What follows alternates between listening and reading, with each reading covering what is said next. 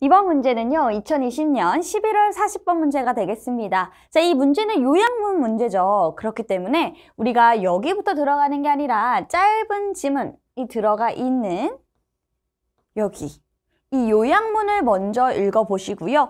그리고 난 다음에 요약문이 주제문이기 때문에 이 주제와 관련된 내용을 빨리 찾으시면 되겠습니다. 자, 그럼 바로 들어가 보도록 하겠습니다. 여기 보시면 유아의 더 우호한 반응은 이거죠. 그래서 유아, 즉 아기들의 더 우호적인 반응은 이게 되겠습니다. 어떤 사람들에게 to those who 어떤 사람들 사용하는 사람들 근데 뭐를 사용해? 언어를 사용하거든요. 근데 언어가 어떤 언어인지가 중요하겠네요. 됐죠? 그래서 애기들이 조금 더 우호적으로 반응을 해 하는 사람들이 있는데 그 사람들의 언어가 뭔지를 살펴보시면 됩니다. 자, 그럼 얘들아 여기서 이렇게 묶으시면 돼요. 그래서 그 반응이 보여줍니다. 뭐를 대절을 보여준다고 하는데요. 대절이 뭡니까? There can be. 자, 뭐가 될 수도 있어요? 이러이러한 경향이 될 수 있다는 걸 보여준답니다. 자, 그 경향이 어떤 경향? 더 선호하는구나. 자, 뭐를 더 선호해요? 이게 아내라고 해서 내 집단이라고 합니다. 내 집단.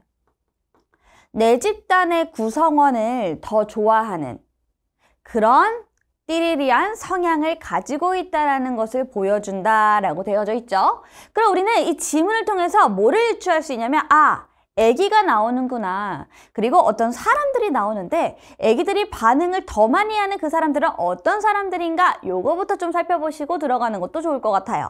자, 그럼 우리 들어가 봅니다. 첫 번째 문장부터 갈게요. 자, 여러분 요건 빠르게 훑어주는 건데요. 여기서 보니까 뭐라고 되어져 있나요? In their study 라고 나오니까 그들의 연구래요. 아, 연구를 하고 있구나. 그럼 얘들은 연구에서는 항상 뭐가 중요합니까? 결과가 중요하죠. 그래서 여기를 이렇게 빠르게 훑어가면 뭐라고 하냐면 연구에서 있잖아요. 여기 있는 캔슬러라는 사람이랑 이 동료들이 연구를 했대요. 대절을. 자, 여러분 여기서 뭐예요? 경향이 나오죠. 어, 경향? 우리 요약문에서 봤는데? 빈칸 경향 이렇게 나왔잖아요 그죠? 그리고 이 경향, 경향도 좀 잘 살펴보도록 할게요 우리의 경향인데 뭐 하려는 경향? to identify with이 뭐냐면요 동일시하다는 뜻이에요 동일시하다 그래서 내 집단을 상당히 많은 정도로 즉 상당 정도 어, 동일시 내 집단을 동일시하려고 하는 우리의 경향은 경향은 자 시작을 합니다 근데 언제요? 유아기에 시작을 합니다. 그리고 뭐일지도 몰라요? 여기는 요 단어가 핵심이죠. 이네이시 뭘까요? 뭐예요? 선천적인이란 뜻입니다. 이런 성향은 선천적인 걸지도 몰라 라고 얘기를 하는 거죠. 우리 경향이 어떤 경향이라고요? 한 번 더 머릿속에 잘 넣어보자. 자, 우리의 경향은 어떤 경향이야? 내 집단. 내 집단을 동일시하려고 하는 이런 경향은 선천적인 걸지도 모르고 그래서 유아기 때부터 시작을 한다라고 되어져 있습니다.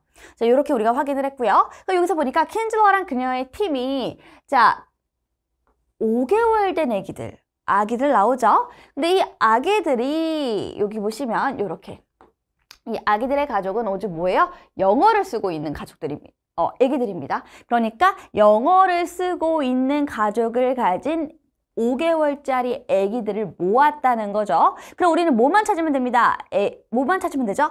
아기들의 반응을 찾으면 돼요. 사람들. 그래서 여기 보시면 뭐라고 되어져 있냐면요. 자, 이렇게 한 비디오에서는 여성이 영어를 썼고 또 다른 비디오에서는 영어가 아닌 스페인어를 썼다. 자, 근데 여기 보니까 그런 다음에 그들이 보여지는데 어떻게 스크린에 이, 이 여성 둘 다가 있는데요. 말을 하지 않고 그때 여기서 보시면 유아심리 연구에서 표준 척도인데 애정과 관심의 표준 척도. 애기들은 말을 못하잖아요. 5개월짜리가 말을 못하니까 그때 이제 결정을 내리는 애정이 있다, 관심이 있다라는 표준 척도는 뭐예요? 관심인 겁니다. 그래서 애기가 결국에는 분명히 어떻게 더 조금 더 응시를 하는 것 쪽이 뭐예요? 애기들이 우호적인 반응을 보이는 곳이다 라고 얘기를 할 수가 있는 거겠죠. 더 좋아하는 것을 얘기하는 겁니다. 자, 얘들아 우리 여기까지 파악을 했고요. 아직도 애기들이 어떤 사람들에게 더 우호적인 반응을 보이는지는 안 나왔습니다. 여기 보시면 이렇게 될 수 있어요. 자, 보시면 자, 켄스와의 연구에서는요. 애기들이 바라보는데 영어로 말하는 사람을 더 길게 바라본대요. 이건 뭐예요? 애기들이 영어로 말하는 사람을 더 우호적으로 생각한다라는 거죠. 자, 다른 연구에서 뭐라고 하냐면 연구자들이 또 알아냈어요. 대절을 알아냈대요. 대절이 뭐예요? 유아들이 더 뭐 하는 경향이 있어요? 장난감을 더 가지고 있는 경향이 있는데요. 자, 제공되어진 장난감입니다. 누구에 의해서? 사람에 의해서. 어떤 사람? 여기 보니까 아, 그들과 여기서 as them 하면 them이 누굴 가리키는 겁니까? 위에 있는 유아인 인펜치를 가리키는 겁니다. 그래서 유아와 똑같은 언어로 말하고 있는 사람이 준 장난감은 그 장난감을 더 오래 갖고 있게 된다라는 겁니다. 그럼 이제 우리가 여기서 이렇게 파악을 하면서 뭘 느낄 수 있느냐? 자, 여기 봐봐요. 자, 이것과 그리고 다른 실험들. 이 뭐로써 인용이 되는 거냐면 증거로서 인용이 됩니다. 어떤 증거? 우리의 내재되어져 있는 진화적 선호, 뭐에 대한? 우리 종족에 대한. 됐나요? 자, 이렇게 한번 살펴보시면 내려볼게요. 자, 유아는 어디에 더 응답을 하나요? 어떤 사람들?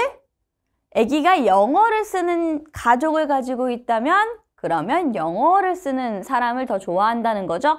그래서 그 내용이 들어가려면 어떻게? 어떤 언어? 친숙한 언어여야 되겠죠.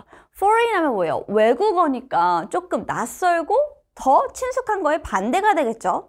그래서 우리가 1, 2번 중에 고르면 되는데 그리고 나서 여기 보니까 또 어떤 경향이 있는 겁니까? 내 집단 선호하는 건요. 후천적인 게 아니죠. 어떻게? 선천적인 거라고 얘기를 했었으니까 후천적인의 반대인 인본 정답은 1번이 되겠습니다.